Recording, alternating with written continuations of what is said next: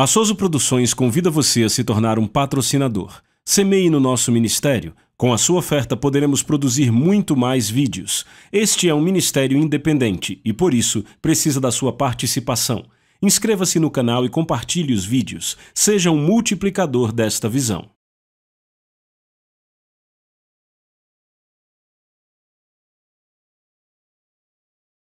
Os versículos usados nos vídeos que traduzimos nem sempre correspondem a versões em português. Muitas vezes precisamos traduzir do original em inglês para fazerem sentido no contexto do vídeo.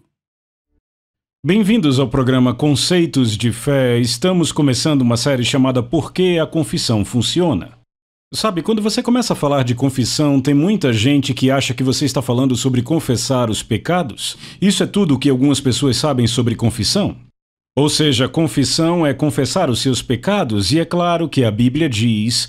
Uh, João disse que se confessarmos nossos pecados, ele é fiel e justo para perdoar os nossos pecados e nos limpar de toda injustiça. Agora, isto, isto foi escrito para cristãos, não foi para pecadores. Ele está falando para cristãos aí, mas quando se trata de confessar a palavra, sobre guardar firme a confissão da vossa fé, aqui em, em Hebreus, no capítulo 10, verso 23, Paulo diz: guardemos firmes a confissão da nossa fé. Agora entenda, algumas versões usam a palavra esperança no lugar da fé, mas é fé. Então é a confissão da fé.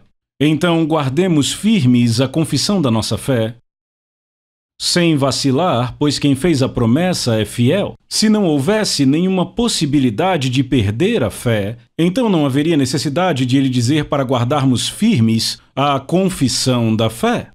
Então, as coisas nas quais cremos que são baseadas na autoridade da palavra de Deus, nós temos que tê-las em mente, temos que guardá-las em nossos corações. Um, sabe, a Bíblia diz: escreve essas coisas na tábua do teu coração, Provérbios diz isso. Escreve essas coisas na tábua do teu coração. Ora, como você escreve na tábua do seu coração? Bem, não dá para fazer isso com uma caneta? Então, Davi falou um pouco disso, na verdade, quando ele falou: A minha língua é como pena na mão de habilidoso escritor. Então, a forma de fazer isso está bem debaixo do seu nariz, é a sua boca. É melhor você pôr a sua boca em movimento, porque é assim que você põe a palavra de Deus dentro de você. Bem, nós já tratamos disso em programas anteriores. Três razões para usarmos a confissão. Eu quero falar disso de novo porque, uh, porque alguns podem não ter visto os outros programas. Uh, número um, ela faz com que a fé venha. Confessar a palavra de Deus. Ora, quando eu digo confessar a palavra de Deus, é falar a mesma coisa que ele fala. Na palavra dele, sobre você, sobre as circunstâncias, sobre a situação. Por exemplo, em Gálatas, a Bíblia nos diz: o apóstolo Paulo afirma que fomos libertos da autoridade das trevas e transportados para o reino do Filho do amor de Deus. Nós fomos libertos do poder das trevas. Bem, é isso que a palavra diz a nosso respeito. Nós fomos libertos. Mas se você escuta algumas pessoas falando, parece que ele disse que fomos presos pelo poder das trevas. Porque elas vão pelo que experimentaram, elas dizem bem sim, bem sabe, eu sei que a Bíblia disse isso, mas irmão Caps, veja o que aconteceu comigo.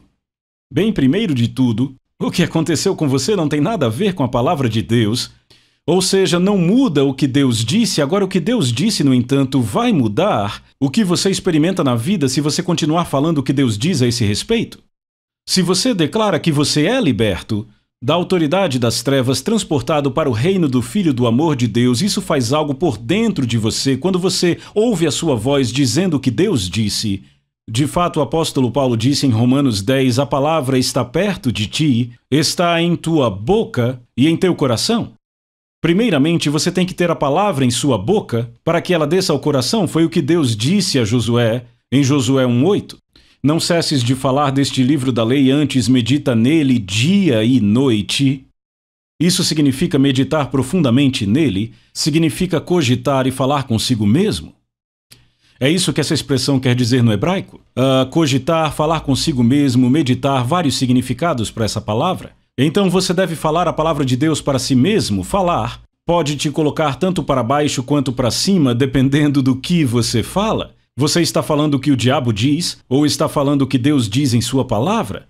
Mantenha a palavra na sua boca. Então, número um, uh, confessar a palavra de Deus faz com que a fé venha, porque O apóstolo Paulo disse: a fé, ora, a fé vem por ouvir a palavra de Deus. A fé em Deus vem por ouvir a palavra de Deus. Ora, o oposto dessa verdade é que a fé no diabo vem por ouvir as palavras do diabo. Isso é muito óbvio, você não quer ir por esse caminho, mas muitas vezes você ouve sim cristãos dizendo o que o diabo disse e eles ficam todos tristes, todos deprimidos por causa de todas essas coisas que estão bombardeando eles. Agora deixa eu dizer algo sobre coisas que o inimigo põe em sua mente. A mente carnal, a Bíblia diz, de fato o apóstolo Paulo diz isso em Romanos capítulo 8, ele diz que a mente carnal é inimizade contra Deus, pois não está sujeita à lei de Deus, nem mesmo pode estar. Então, se você tentar operar com a lei da fé na mente carnal, você vai entrar num grande problema. Isso para dizer o mínimo, porque você não crê com a sua mente o que pode crer com o coração. Agora, quando falamos de coração, não estamos falando da bomba de sangue, estamos falando do núcleo, do centro do seu ser. Isto entra em você e se torna parte de você quando você fala a palavra de Deus. Então, número um, a primeira coisa que a fé faz, ou, ou a primeira coisa que confessar a palavra de Deus faz, é fazer com que a fé venha, porque a fé vem por ouvir. E virá mais rápido se você ouvir a si mesmo citando, falando, dizendo o que Deus diz a seu respeito. Então, número 2, confissão é como se planta uma semente no reino. No capítulo 17 de Lucas, Jesus disse que se você tivesse fé como uma semente de mostarda, diria aquela moreira seja arrancada pela raiz e plantada no mar, e ela lhe obedeceria. Ele não diz para obedecer a Deus, orar a Deus para que ele mova a árvore e a jogue no mar. Ele disse: se tiver fé como um grão de mostarda, você dirá. Ora, é por isso que algumas pessoas não dizem nada do que a palavra diz a respeito delas, porque não têm fé como uma semente.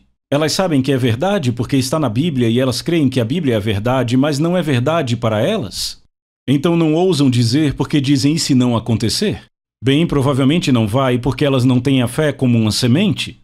Então, número um, quando você confessa a palavra, você faz com que a fé venha. Número dois, você planta uma semente no reino de Deus, no coração. Isso está na parábola do semeador em Marcos capítulo 4, Mateus capítulo 13. Jesus nos dá muita informação, informações maravilhosas a respeito de como a fé funciona no coração.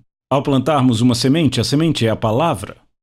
Número 3, já que revisamos os dois pontos, eu vou começar então a falar do número 3. Paulo disse em Romanos 12: Não vos conformeis com o mundo, mas sejam transformados pela renovação da sua mente. Uh, você renova sua mente pela palavra de Deus? Ou seja, se você se mantém dizendo o que Deus disse, confessando a palavra de Deus, lendo a palavra de Deus em voz alta, então isso renova sua mente. E o que acontece é que você começa a pensar como Deus. Agora, deixa eu dizer, quando você começa a pensar como Deus pensa, as coisas começam a mudar ao seu redor, você sai da depressão, você começa a crer. Como Deus crê, você começa a ver coisas de uma forma totalmente diferente. E aí chegamos ao número 4, a quarta razão pela qual a confissão da palavra de Deus opera em sua vida muda circunstâncias e situações, porque ela mantém a resposta diante de você. Você sabia que se você fica falando o problema, falando o que é o problema ou como vai ser, falando do que aconteceu, do que pode acontecer, do que parece que vai acontecer, e sabe, tem pessoas que agem assim? Eu mesmo já agi dessa forma, mas eu aprendi algo. Essas pessoas dizem: ah, já vi tudo, não vai funcionar. Ah, eu já vi tudo, não teremos dinheiro para a parcela da nossa casa ou para a parcela do nosso carro. Ah, eu já posso, sabe, eu já posso ver. Ora, o que isso significa é que elas já meditaram no que a mente carnal delas pôs diante delas, e muitas vezes a sua mente carnal é influenciada pelo inimigo e por forças malignas. Veja, você não pode impedir que o inimigo coloque pensamentos em sua mente de, de vez em quando, mas estes pensamentos, especialmente se não concordam com a palavra de Deus, esses pensamentos sofrem aborto espontâneo se você não os fala. Porque de fato é a forma como se pega o pensamento, é falando. Ele vem à sua mente, mas de fato você ainda não o pegou até que comece a dizer, a falar a respeito dele. Uma vez que você fala, e começa a confessar aquilo, falar com a sua boca, vez após outra, após um período de tempo, aquilo entra em você, e então aquilo se torna verdade para você, quer seja verdade ou não. Ora, os psicólogos já constataram que a criança, o que quer que ela acredite a seu respeito, se por exemplo ela acredita que você não a ama, Ou se elas acreditam que você as trata mal, pode até ser que não seja, mas se acreditam, se elas acreditam nisso, bem, para elas é verdade. Ou seja, é uma verdade absoluta para elas. Então o que você precisa entender é que as coisas que você está dizendo com a sua boca, essas coisas entram em você. E aí isso se torna verdade para você, quer seja verdade do lado de fora ou não. Por dentro já é verdade, você fica plenamente convicto a respeito daquilo, pode até ser que não seja verdade de jeito nenhum. Tem algumas coisas que o inimigo pôs em sua mente, a respeito das suas finanças, a respeito da sua saúde física ou de qualquer outra coisa. Não entre em concordância com o que o inimigo diz e guarde a sua mente e o seu coração acima de tudo. Provérbios diz: uh, guarde o seu coração com toda diligência, porque dele procedem as saídas ou as forças da vida. Ou seja, o que entra em você é o que vai mudar as situações. Então, esta é a razão número 4 pela qual você deve confessar a palavra de Deus e dizer o que Deus diz a seu respeito na Bíblia. Em outras palavras, ele diz: Dei-vos será dada boa medida, recalcada, sacudida e transbordante, os homens vos darão. Comece a falar isso toda vez que você der, quando você der a sua oferta. Uh, até quando você faz uma doação para a caridade, diga: Eu estou dando e me será dado. Uh, sabe, às vezes nós decidimos que, ah, só funciona se eu der para o reino de Deus. Bem, eu sei que funciona assim, mas funciona em outras áreas também. Então a confissão põe a resposta diante de você. Agora deixa eu te dizer, quando você entra nessa coisa de confissão, percebe que isso muda até a sua atitude. Eu quero contar uma situação que aconteceu há muitos anos. Eu fui a uma, a uma igreja no Arkansas e numa noite eu ensinei sobre confessar a palavra de Deus e chamar as coisas que não são, ou seja, chamar o que está prometido na palavra de Deus, proclamar a coisa antes dela acontecer. E isso vem de Marcos 11, 23 e 24. Sabe, a Bíblia diz que todo aquele que disser ao monte, seja removido e seja lançado ao mar e não duvidar em seu coração, mas crer que aquelas coisas que ele diz acontecerão, ele terá o que é que ele vai ter tudo aquilo que disser? Se ele crer, se ele não duvidar no seu coração e se ele crer naquelas coisas que ele diz. Sabe, quando você começa a falar coisas negativas, a princípio você não crê nelas. Mas se você diz tempo suficiente e às vezes você diz só porque está desgostoso, já aconteceu com você, comigo sim, eu já fiz isso. E você diz algo negativo porque você está desgostoso com a situação e você não quer realmente dizer aquilo, mas você diz e se você continua dizendo, não demora muito você vai acreditar, porque a Bíblia diz que a fé vem por ouvir. Ora, ela vem mais rapidamente quando você ouve a si mesmo falando, dizendo com sua própria boca, e os seus próprios ouvidos estão pegando isso. E isso fica alimentando o que a Bíblia chama do seu coração, que é o seu ser, o seu núcleo, o seu centro de produção, bem, vai produzir aquilo em sua vida. Então, quando você começa a falar essas coisas negativas, isto impede que você que você creia na libertação, na bênção de Deus que a palavra promete. E o pastor daquele lugar, depois que eu preguei aquilo num domingo à noite, depois que eu preguei sobre chamar coisas que não são como se já fossem, sobre chamar a promessa de Deus, sobre chamar abundância quando há falta, proclamar, que o meu Deus, em riquezas e glória, há de suprir cada uma das minhas necessidades em Cristo, porque eu já dei e continuo dando, como o apóstolo Paulo disse. Em Filipenses 4, ele disse: Mandaste não somente uma vez, mas duas, o bastante para as minhas necessidades, e o meu Deus, segundo a sua riqueza em glória, há de suprir em Cristo Jesus cada uma das minhas necessidades. E, claro, nós percebemos que Jesus era a palavra personificada. Então a palavra tem a ver com isto. Então, depois do culto, nós saímos para comer e. A esposa do pastor disse: Irmão Caps, estou muito feliz que você ensinou sobre isso hoje, porque sabe, ela disse: compramos uma propriedade. Há algum tempo atrás, ela disse: já fazem cerca de três anos. A gente comprou um lote que era meio que num vale, sabe? Uma região, uma região rebaixada e a água empoçava ali, a gente começou a deixar as pessoas jogarem entulhos ali, sabe, concreto, metralha, restos de construção. E eles pensaram, bem, já compramos, agora temos que pagar, e eles estavam pagando por aquele terreno. E, e ela disse: Bem, então vamos arranjar uma forma de fazer dinheiro, pelo menos para pagar a prestação do terreno, deixando esses entulhos aqui. Bem, ela disse: Sabe, eu ficava falando sobre aquele terreno, ninguém nunca vai construir nada aqui, nunca vamos nos livrar disso, ficaremos com isso pelo resto da vida. Bem, entenda, aquele pensamento veio à mente dela porque a mente carnal, você lembra o que Paulo disse em Romanos 8, ele disse que a mente carnal é inimizade contra Deus e não está sujeita à lei de Deus. Você não pode operar na lei da fé que diz: você pode ter o que disser se crer e não duvidar no coração. Se crer que aquelas coisas que disse acontecerão, você não pode operar nisso do lado positivo em sua mente carnal, porque a sua mente carnal fica negativa demais muito rapidamente. E quando você começa a falar coisas negativas, então você não opera em nada do lado positivo, você passa a operar no lado negativo, o que em essência significa dizer ao monte: Uau, você está ficando maior? Eu nunca suplantarei você, você vai me atrapalhar o resto da vida? Veja, Jesus nunca nos disse que esta coisa operaria tão bem quanto ou até mais rápido no lado negativo, porque ele não queria que isso operasse na sua vida do lado negativo. Mas sabemos que há sempre uma ponta oposta para toda verdade, que remete à recíproca direta disto, ou seja, é o oposto daquilo. Então, se você pode ter o que disser, se crer e não duvidar no coração, isso funcionará tão rápido quanto, ou talvez mais rápido no lado negativo do que no lado positivo, e você precisa manter distância disso, e para fazer isso precisa sair desse pensamento carnal e começar a pensar como Deus pensa, e esta é a razão pela qual você precisa tanto renovar a sua mente com o que Deus diz.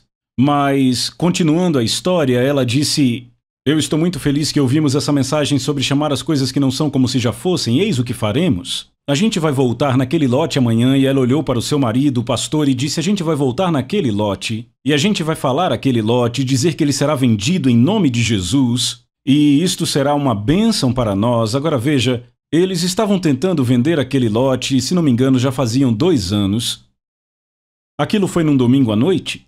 Então, na segunda de manhã, eles foram e começaram a falar coisas boas a respeito do lote. Começaram a declarar: tudo que eu faço e toco prospera, nenhuma arma forjada contra mim vai prosperar. Nós cremos que haverá um comprador e alguém será abençoado com esse lote, ele será uma bênção para alguém. Veja, eles saíram do pensamento negativo da mente carnal e entraram naquilo que estavam fazendo, mantendo a resposta diante deles.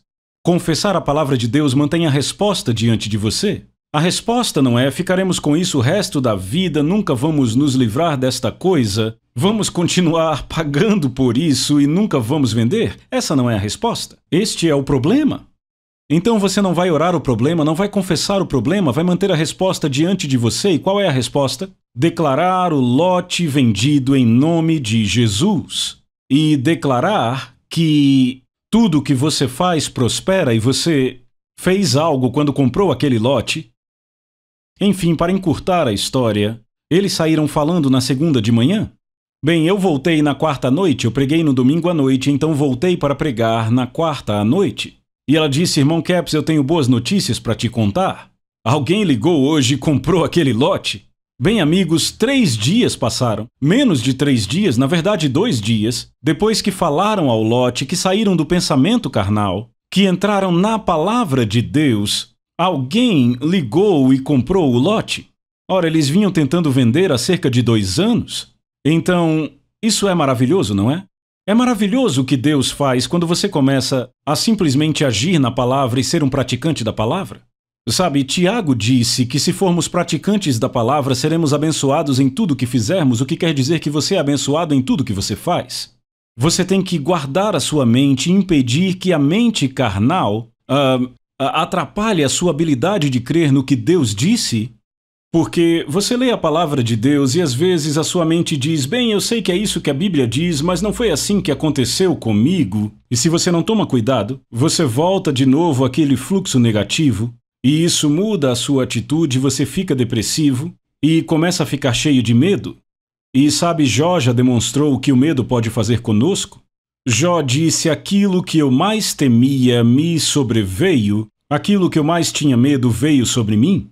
Ele não estava apenas temendo, Ele, com sua própria boca, disse: É o que eu mais temo. Aquele medo já estava bem desenvolvido. Então, esta é a razão número 4 pela qual a confissão da palavra funciona, ela mantém a resposta diante de você. Então, vamos para Efésios capítulo 4. Um, em, em Efésios 4, o apóstolo Paulo nos dá um bom conselho. Efésios 4, verso 17. Efésios 4. Paulo está falando sobre coisas que vão nos ajudar aqui. Verso 17. Isto, portanto, digo e no Senhor testifico que não andeis mais como também andam os gentios na vaidade dos seus próprios pensamentos, obscurecidos de entendimento, alheios à vida de Deus por causa da ignorância em que vivem, pela cegueira do seu coração. Ou seja, não ande na vaidade da sua mente. Aquele casal olhou para o lote e disse: Nunca vamos nos livrar disso. Ele continua falando, mas aqui no versículo 23 ele diz: E vos renoveis. Na verdade, vamos voltar para o verso 22, no sentido de que, quanto ao trato passado, vos despojeis do velho homem, a antiga forma de vida, o velho homem, que se corrompe segundo as concupiscências do engano, e vos renoveis no espírito do vosso entendimento. É isso que acontece. A sua mente é renovada pela palavra de Deus. Quando você começa a falar e dizer o que Deus disse, vos renoveis no espírito do vosso entendimento, ou seja, na atitude da sua mente. Uh, começamos a pensar como Deus pensou sobre aquilo. Deus disse: se você for praticante da palavra, será abençoado no que fizer. E ele diz: E vos revistais do novo homem criado segundo Deus em justiça e retidão procedentes da verdade. Por isso, deixando a mentira, fale cada um a verdade com seu próximo, porque somos membros uns dos outros. Irai-vos e não pequeis, não se ponha o sol sobre a vossa ira, nem deis lugar ao diabo. Agora note, Paulo diz: não deis lugar ao diabo. Veja, se Paulo diz para não darmos lugar ao diabo, então ele não terá nenhum lugar a não ser que nós demos esse lugar a ele. Porque se ele tivesse lugar, então por que Paulo teria que nos dizer para não darmos lugar a ele? Veja, damos lugar ao diabo às vezes por palavras, porque falamos coisas que são contrárias à palavra de Deus, e desta forma entramos na carnalidade da nossa mente. Ele continua dizendo: Irai-vos e não pequeis, não se ponha o sol sobre a vossa ira, nem deis lugar ao diabo. Aquele que furtava, não furte mais, antes trabalhe fazendo com as próprias mãos, para que tenha com que acudir ao necessitado. Agora ouça isso, versículo 29. Não saia da vossa boca nenhuma comunicação corrompida, mas sim a que for boa para edificação e para ministrar graça aos que ouvem. Agora, quem é a primeira pessoa que ouve tudo o que você diz? É claro, muita gente vai dizer: ah, é Deus que ouve, mas é você. Você ouve primeiro tudo o que diz, é claro que Deus também ouve. Ah, não sei se é bem assim, não sei se Deus ouve toda a incredulidade que eu falo, ou que as pessoas falam. Eu não acredito que ele fica ouvindo isso. Você é a primeira pessoa que ouve tudo o que você diz. Ora, o apóstolo Paulo falou disso em Romanos capítulo 10. Romanos 10, 6. Ele fala da justiça procedente da fé e no 8 pergunta: porém, que se diz? Veja, ele vai dizer o que a justiça decorrente da fé fala no versículo 8, porém que se diz? A palavra está perto de ti, está falando da palavra, sim, a palavra de Deus.